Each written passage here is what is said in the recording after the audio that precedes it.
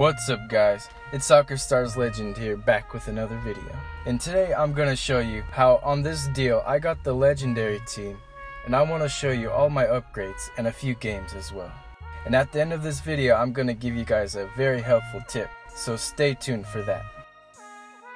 Now a good tip for upgrading your team really fast is to only play in the trick shot arena while you're upgrading. Because each match in the trick shot arena, you can get 5 goals or more, and that will make this whole upgrading process go by very quickly.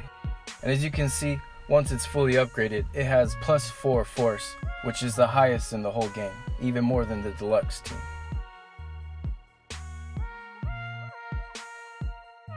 I just forced the ball into the opponent's goal by making sure the pressure was just right.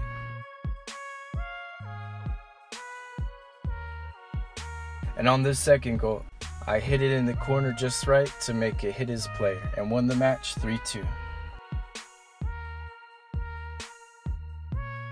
Now, this player in USA was taking forever. He was playing last second the whole match, and it was getting me frustrated.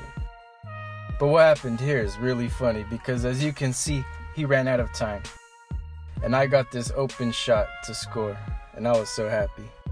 So I scored that goal and won the match. That's what he gets for playing slow. In this game, I forced the ball into the corner with a bunch of players in the way. And he didn't think I could score a goal from there, so he tried to break up my defense. But I knew this trick that I learned from watching games on Rael. It's where you hit the opponent and your player, and it forces the ball to go into the goal if there's another player there.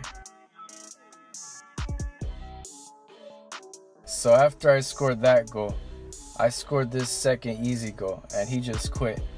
So I win the match 2-0.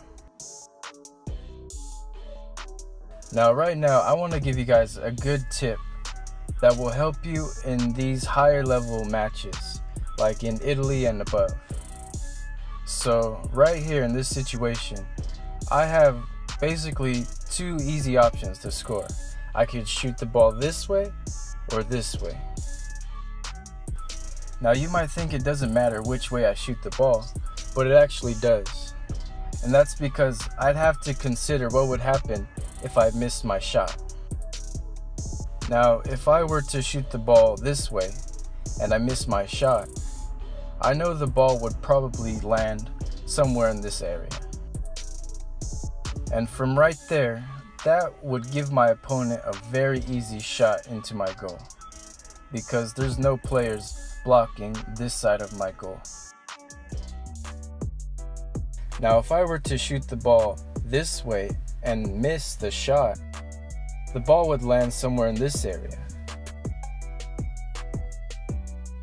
And from there, it'd be really difficult for the opponent to score.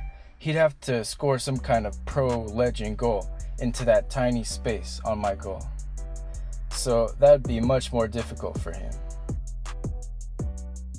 Now, when I'm playing in these matches, I'm just thinking if I miss my shot, do I want the opponent to have this kind of shot? Or would I want him to have this kind of shot if I miss? And of course, I want my opponent to have the hardest shot. So I went ahead and shot the ball this way. And good thing I scored anyways. But that's still a good tip to remember. Always think about what would happen if you missed your shot. Alrighty guys, I hope you liked this video. I'll catch you next time. Peace.